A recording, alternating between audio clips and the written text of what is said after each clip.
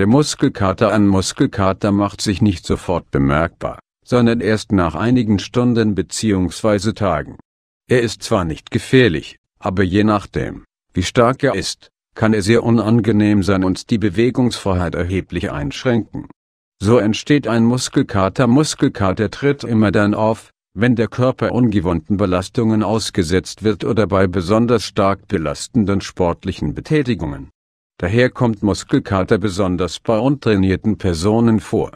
Durch eine ungewohnte und starke Belastung kann eine Muskelzelle geschädigt werden. Dies geschieht besonders häufig durch eine abrupte Stoppbewegung zum Beispiel beim Squash oder Badminton oder durch eine längere Beanspruchung wie Z. B. Beim Dauerlauf. Betroffen sind dann sowohl das Muskelbindegewebe als auch die Muskelzelle selbst.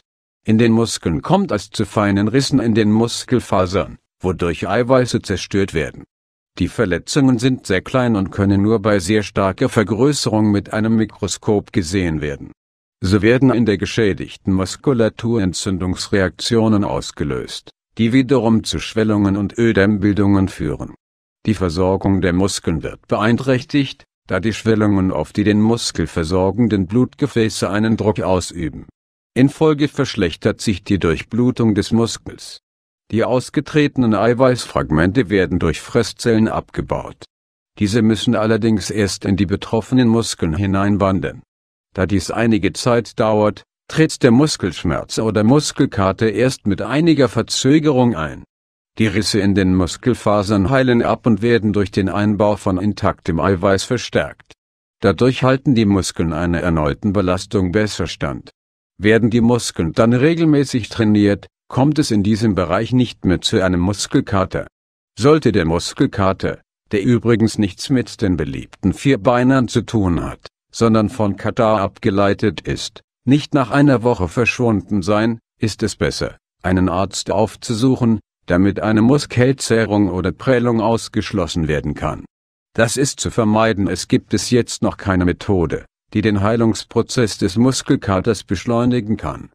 Da früher der Muskelkater auf eine Übersäuerung des Muskels durch Laktat zurückgeführt wurde, sollte durch weitere sportliche Betätigung eine beschleunigte Ausschleusung des Laktats erreicht werden. Durch die neueren Erkenntnisse wird aber davon inzwischen abgeraten, da die kleinen Muskelfaserrisse nur durch Ruhe ausheilen können. Zu viel Bewegung sollte also während eines Muskelkaters vermieden werden. Durch weitere Belastungen besteht die Gefahr, dass der Muskel gezerrt wird oder sogar größere Strukturen im Muskel zerreißen. Zudem besteht dann die Gefahr, dass es auch in den Sehnenansätzen zu schmerzhaften Reizungen kommen kann. Auch auf Massagen sollte in den Bereichen des Muskelkaters verzichtet werden, da sie durch zusätzliche mechanische Reize eine Heilung des Muskels verzögern können. Allenfalls können Lockerungsmassagen angewendet werden. Unterstützt werden kann diese leichte Massage durch Arnika-Tinktur, die entspannend, schmerzlindernd und durchblutungsfördernd wirkt. Diese sollte allerdings immer verdünnt angewendet werden, ein Teelöffel Tinktur mit 5 Teelöffeln Wasser. Diese Lösung wird dann zwei bis dreimal täglich eingestreichelt. Erste Hilfe beim Muskelkater Im Normalfall kann man schon mit wenigen Tricks einen Muskelkater lindern, um sehr schnell wieder fit zu sein. Schmerzmittel sollten nur bei sehr starken Schmerzen eingenommen werden. Ansonsten gibt es keine medikamentöse Behandlung des Muskelkaters. Das A und O einer ersten Hilfe beim Muskelkater ist Wärme. Ein warmes Bad fördert die Durchblutung und kann spürbar den Schmerz lindern. Dabei sollte die Badetemperatur bei 35, 37 Grad Celsius liegen. Die Badedauer sollte von anfangs 10 Minuten langsam auf 20 Minuten gesteigert werden. Anschließend sollte kalt abgeduscht werden.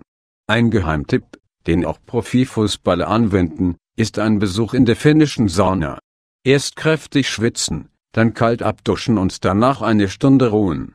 Olivenöl wird schon seit alters als Heilmittel nicht nur bei Muskelkette geschätzt, mit einigen Tropfen Rosmarinöl oder Arnika gemischt und leicht aufgetragen, fördert es kräftig die Durchblutung. In wohl keinem Haushalt fehlte vor 100 Jahren die bewährte Schmerztinktur Franz Brandwein. Und auch heute noch ist er nach dem Duschen auf die Haut aufgetragen ein bewährtes Mittel gegen Muskelkater.